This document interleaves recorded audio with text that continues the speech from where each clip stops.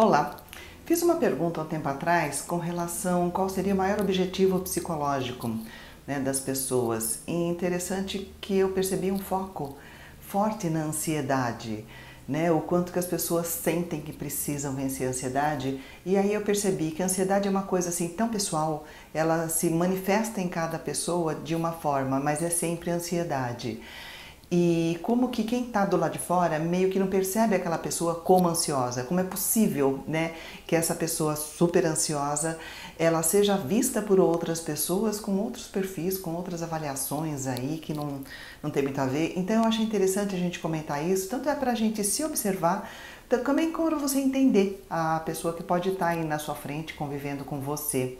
Então vamos lá, características. Uma, pessoa que perde a paciência muito rápido, porque ela é ansiosa, ela quer que as coisas aconteçam muito rápido.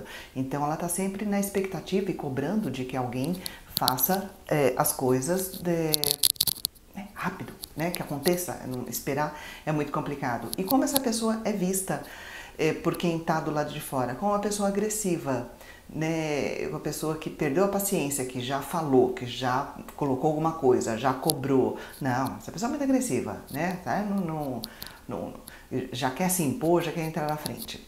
Né? Ou outra característica, a pessoa que precisa de ter controle sobre as coisas, porque o ansioso não consegue sentir assim que deixa a vida me levar, não, né? Eu que levo a vida, né? A vida que me leva, não. Eu que faço acontecer porque eu preciso saber o que está acontecendo.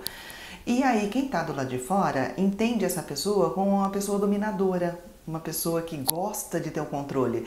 O ansioso ele não gosta de ter o controle, ele precisa, o que é diferente. Ele sente a necessidade que, de ter o, o controle das coisas para não se perder, para que as coisas não deem errado, né? para que né, ele esteja ali à frente. Brigas e conflitos, porque o ansioso ele precisa que as coisas sejam feitas exatamente do jeito que ele espera, imagina que seja o melhor. Aí ele vai né, entrar em confronto com as pessoas. E aí quem está do lado de fora vê essa pessoa como alguém que não quer relacionamentos. Ah, você briga com todo mundo, você não quer se dar bem com ninguém. De novo, não é que ele não quer, é que ele precisa que as coisas sejam muito certinhas. Outra característica é a pessoa que assume muitas tarefas, né? Ele pega tudo para ele, fica muito cansado, exatamente por conta dessa necessidade de controle, que o que eu pego todas as tarefas porque se está na minha mão, eu sei que vai sair, né? Eu vou fazer o negócio acontecer, eu vou resolver, não consigo ficar esperando que as coisas aconteçam. E aí quem está lá do lado de fora acha que essa pessoa é muito prestativa. E na verdade ele não é prestativa, não é um sentimento de bondade que está por dentro dele, é um sentimento de ansiedade. Não que não seja uma pessoa boa, pode ser até ser uma pessoa boa também, mas essa, esse comportamento de querer assumir tudo é, é, a ansiedade de que as coisas aconteçam, que aconteçam no tempo certo, que aconteçam do jeito certo, do que ele acha que é certo, né? E também é uma pessoa que pode parecer muito tranquila por dentro, né? Mas por fora ou melhor, por fora muito tranquila, por dentro ela está explodindo, mas por fora ela pode fazer cara de paisagem.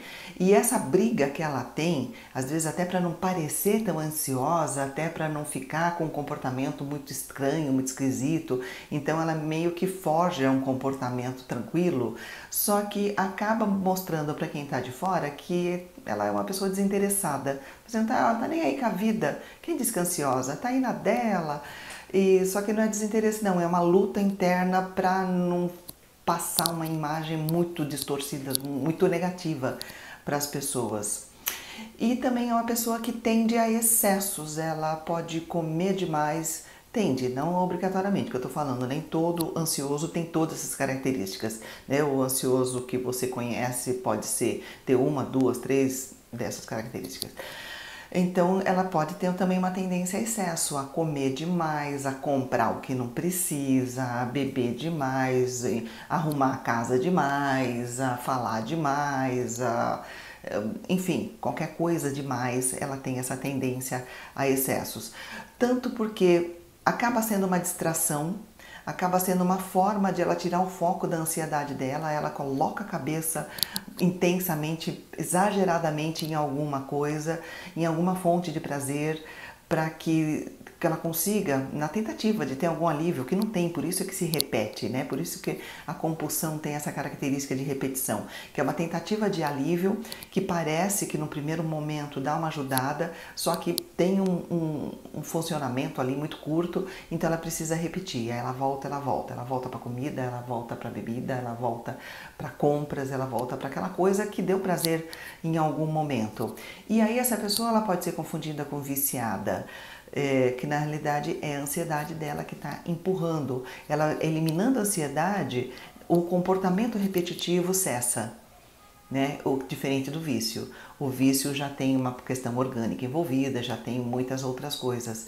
Então, vê como é importante você se entender, se tratar, se trabalhar a ansiedade, porque pode ser a ansiedade que está por trás de uma coisa que às vezes até você mesmo se acha agressiva, dominadora, que não quer nada com ninguém, uma pessoa super prestativa, né, que está ajudando todo mundo, mas está se matando por dentro, né, desinteressada, viciada e no fim você não é nada disso.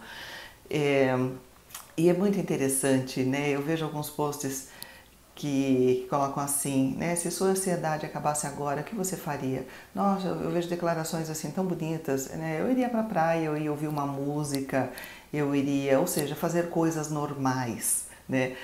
Ter um momento da pessoa com ela mesma é o que ela faria, é o que a pessoa gostaria de estar tá fazendo se ela não tivesse essa ansiedade toda. Né? E para fechar, só uma comparaçãozinha né, de, de, pensamentos, né, porque ansiedade e depressão elas estão muito ligadas, é, a sensação pode ser muito parecida. Então, só para a gente entender um pouquinho, né, de, por exemplo, pensamento com relação à morte, por exemplo, o pensamento paranoico fala você vai morrer, é aquela coisa determinada, aquela coisa né, fechada, catastrófica. Uh, a depressão fala morre, morre, tô nem ligando, não tenho mais sentimento nenhum, não tenho mais nada, morre. ansiedade fala, e se eu morrer? E se eu morrer? E agora? O que vai acontecer? E se isso acontecer? Isso é ansiedade, essa expectativa, essa, essa angústia, que pode ser parecida com a depressão, mas é uma outra angústia. trata isso. Se você percebe que é o que está limitando sua vida, vai atrás, tenta melhorar.